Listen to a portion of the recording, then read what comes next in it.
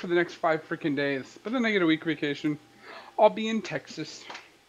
Oh shit! Texas? This is a Oh oh shit! Shit shit shit! I'm gonna die! I'm gonna die! I did.